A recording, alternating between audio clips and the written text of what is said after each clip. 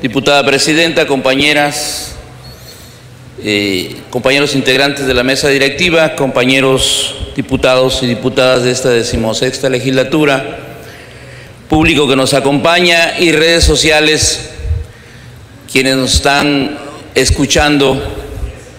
eh, en estas sesiones que hoy implementamos dos. Eh, el día de hoy, en la primera reunión, en la primera sesión, se presentó una iniciativa por parte de la diputada Linda Cobos Castro, muy similar, por cierto, ¿no? a la que presenta, eh, en este caso, la fracción legislativa del PRD. Creo que es de fundamental importancia que se vayan a las mismas, efectivamente, comisiones y que no sean más de dos comisiones porque luego se entrampan. Y ese es un tema muy importante. Es, yo creo, el planteamiento en esencia, el proteger esta cultura, este arte, este extraordinario sentimiento que las artesanas y los artesanos de todo tipo, las tejedoras, las, bordadoras, plasman en sus obras, que a mí me parece que este, es parte de la resistencia indígena, negra y popular, que se celebrará el día 12 de octubre, no como el Día de la Raza, como muchos le dicen, sino el Día de la Resistencia Indígena Negra y Popular. Efectivamente, yo estaría totalmente de acuerdo en que en los 11 ayuntamientos se construya, se cree, se crean las, las eh, direcciones de arte y cultura y que efectivamente también la Secretaría de Desarrollo Económico de alguna manera sea la responsable de darle todo el respaldo a esta actividad que se desarrolla fundamentalmente en el centro del Estado, pero que está distribuido en todo el territorio estatal. Sin embargo, hay un tema que yo creo que también es importante y se verá ya en el debate que se dé en las comisiones respectivas a las que se envíen estas iniciativas. Necesitamos organizar a las compañeras y los compañeros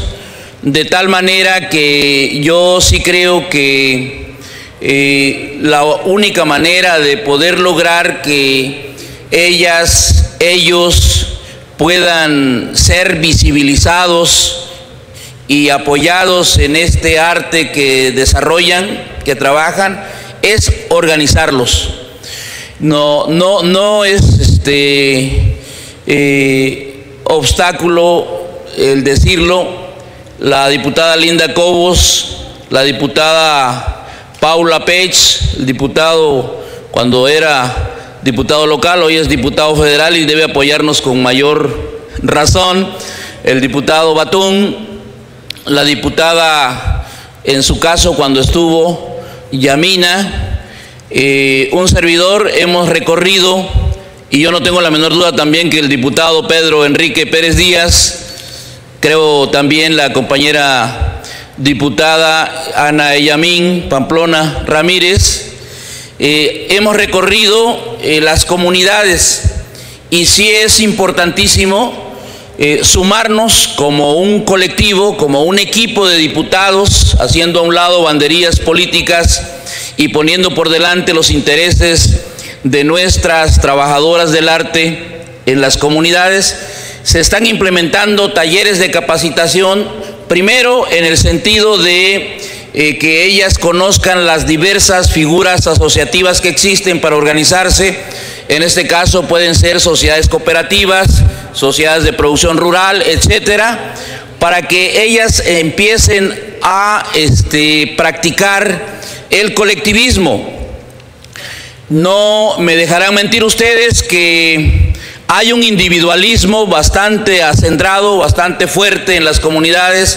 producto de que la práctica del colectivismo en el pasado no ha resultado porque siempre la, la práctica está uno o dos o hay pues una gandalle ahí de parte de quienes quedan al frente y excluyen, ¿verdad?, el, el criterio de que el trabajo colectivo es más productivo y en el proceso de producción que se desarrolla, uno o dos son los que quedan beneficiados y a las demás se les excluye. Entonces estamos nosotros desarrollando talleres de capacitación jurídica y explicándoles que este trabajo colectivo eh, ha sido deformado, ha sido mal usado, ha sido mal orientado, ha sido mal conducido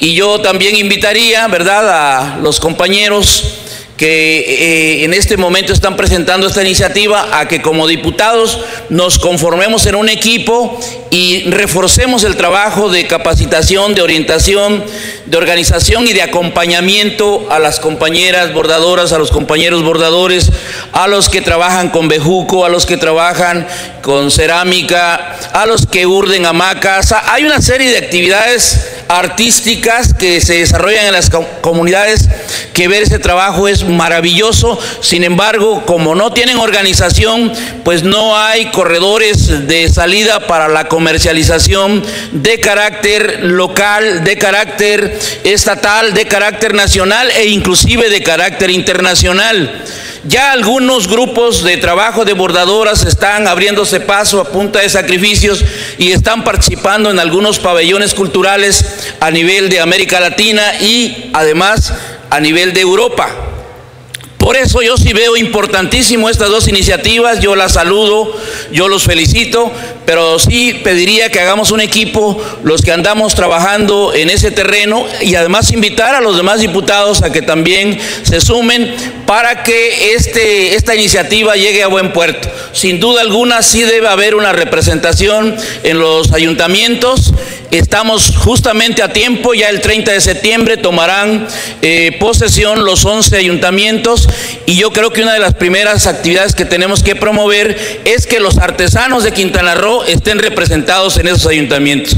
Esta era la eh, alocución que quería un servidor hacer y un llamado a los compañeros diputados para que sumemos esfuerzos y no este, caigamos en protagonismos a ver quién es el que se cuelga los laudos, las glorias de estas iniciativas. Creo que es un esfuerzo muy importante. Yo felicito al, compañero Pedro Enrique, a la compañera eh, Ana Yamín, a la compañera Iris que también se sumó a esta iniciativa y por supuesto a la compañera eh, Linda Cobos Castro, a la compañera Paula que estuvo malita y por eso en las últimas reuniones no ha estado, pero ella tiene toda la voluntad eh, política también de participar. Felicidades, enhorabuena y esperamos que al mandarlas a comisiones inmediatamente nos pongamos a analizarla y dictaminemos a favor de nuestras y nuestros artistas del campo y la ciudad. Muchas gracias, compañeros.